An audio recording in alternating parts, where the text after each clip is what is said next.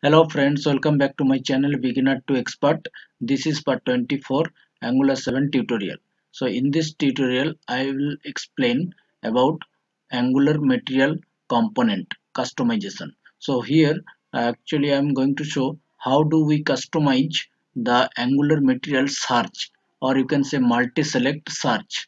Okay, so let's get started. Okay. So before going to uh, you know implementation of the multi-select with search so here actually i created one you know component and uh, here uh, what i'm going to show. So here you can check this multi-select panel uh, already there in you know angular material as a multi-select uh, you know element okay? So here i added one search engine as per my requirement because here actually most of the times uh, you know when multi selection will be more okay? So there i cannot scroll down and uh, i cannot find out uh, manually okay? And i can select. So to avoid those scenario I want that user can select by name whatever they want okay? After finding the name they can select the multiple one okay? So these features I'm going to implement okay? So uh, now I'm just uh, summarizing whatever um, what uh, the things we have done so far. So in my uh, previous video I actually showed that uh, you know how to use the uh, dialog material dialog inside the project. Okay? So if you go to the browser here i created actually one button. On click of the button that one pop-up will come. Okay inside that pop-up actually we are rendering the emp register component. Okay so today i'm going to uh, you know show you that uh, multi select with search.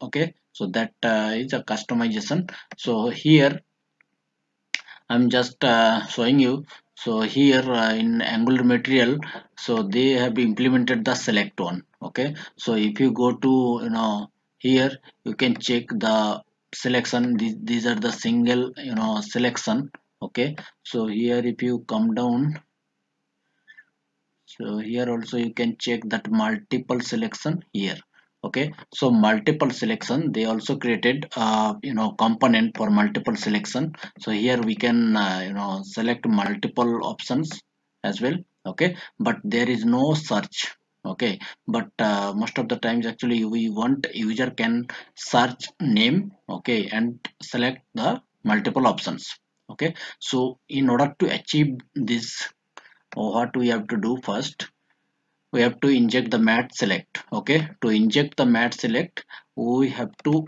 register the mat select module. So first i will go to mat module okay?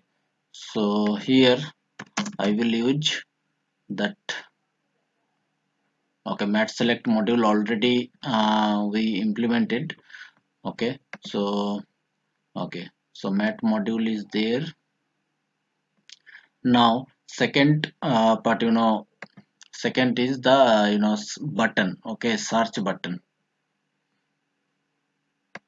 So in order to use that uh, button we have to go that button section okay. So here api actually tells us that mat button module we have to import okay. So here i will go mat module button module. Okay so then next thing is to add you know input. Okay so here what I will do for time being I you know designed that uh, you know piece of code. Okay so what I will do here I'll copy and paste it okay? So first one is you know that mat select part second also mat select. So third one is here uh, mat select. If you go to so mat select so multiple one here. So multiple selection go to the view source. Here you can check mat select with multiple options so here mat option means each option it is looping through okay? And value it is assigning here input and uh, autocomplete of means whatever we are uh, searching that will not be visible there. So mat input placeholder i kept okay? So mat select and mat option. So here user list we are uh, you know binding it uh, to the options and here user id and user name okay? But so in order to that uh, include the search uh, you know text box. That for that one i uh, you know kept one you know input box. And here i added one reference for this you know input. And i attach one event that is input event. So i named this you know on input change. Okay? So whatever uh, what i need to do. And here i kept one you know button okay? That is search button. Okay? And uh, whatever we have been added that button I'm keeping that button as well. And uh, I placing that button in the right side. Now go to that view. Okay. So uh, as expected that view uh, design uh, you know came. And here nothing is visible because we are not binded to that you know user list. So here what I will do for multi select search.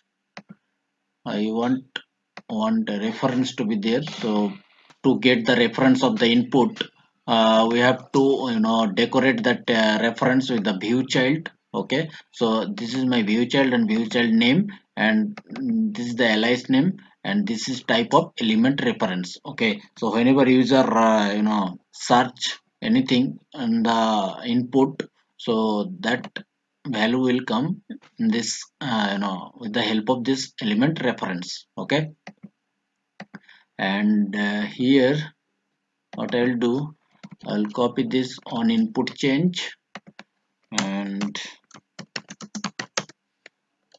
I will console it whether we are getting that input value or not.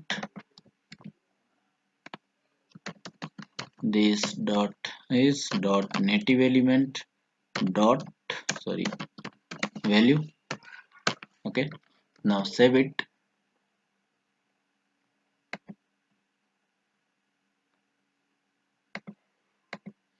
okay so something we need to add. Okay.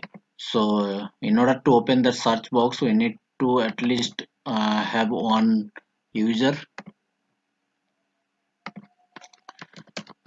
Okay. To in order to add I kept one user list uh, which will be you know array type of any for the time being. And uh, this dot okay. So for timing I already uh, written to fetch the you know input list here one private method. So I'll copy and paste it over here. So basically actually this method actually returning a list of you know user and this is type of observable here of operator we are using from the rxjs okay? So here rxjs operator which will responsible to return an observable. So here i will register that inside ng init this dot this dot.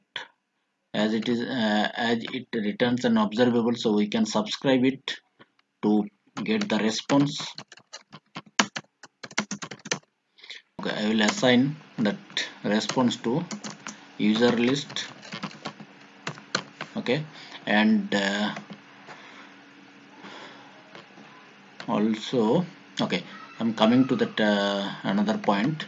So here user list we are getting okay? Now save the page open the browser.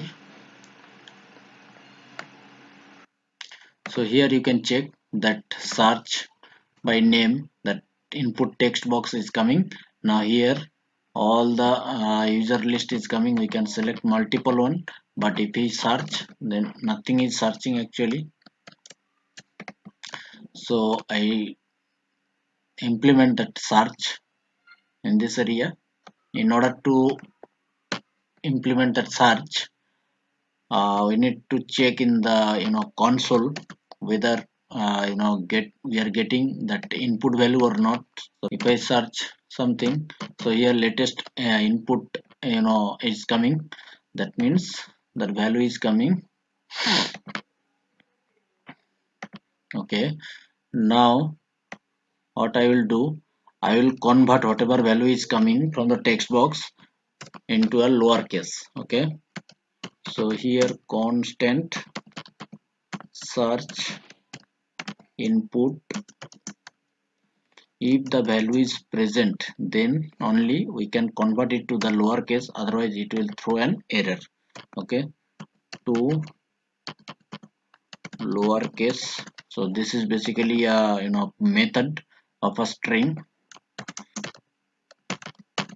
Okay? So this is search input okay? And uh, now my next intention is you know loop through of the list and find out the search input okay?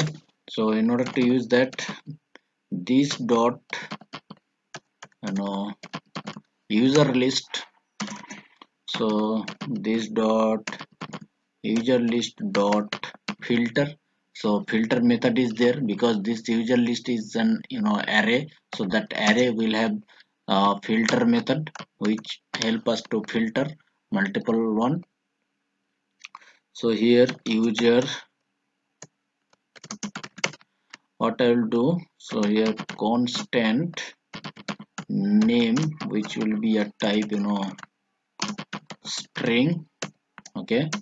And here user is an object so user will have one property called name. As you can check here I kept a user object. We'll have two name uh, property name and ID okay? Okay name. Now that name I will convert to lowercase.